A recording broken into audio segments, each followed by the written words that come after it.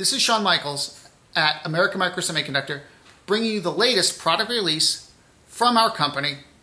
Today, our latest product announcement is the CA2818C. It was commonly manufactured by RCA as well as Motorola. This device was designed for low noise, low distortion, and wideband amplifier use. Its high stability and hybrid circuit also features a push-pull output stage.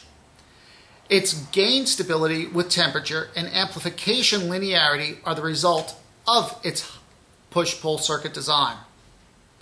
This device, extremely popular in most CATV applications, as well as satellite transmission applications, was used for many, many years in some of the nation's largest telecommunications equipment as well as television equipment. This versatile RF band amplifier is in a rugged epoxy SIP style package.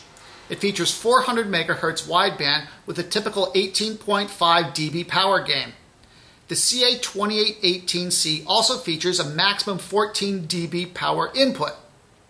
For many years, this popular device was specified as the standard for wideband linear amplification in the world. Now it's being brought to you by American Micro Semiconductor.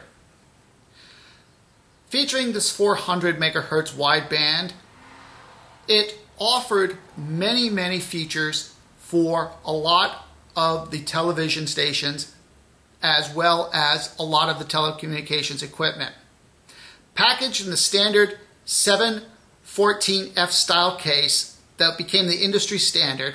It handles a power output of 1 watt at 1 dB compression at a frequency of 200 megahertz.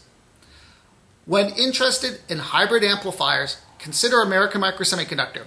You can visit us at the online store at store.americanmicrosemiconductor.com to buy one of these devices. Or if you have any questions, please don't hesitate to give us a call. Our phone number is 973 377 9566. Our website also offers this product for sale. If you have any questions, please don't hesitate to give us a call. Thank you.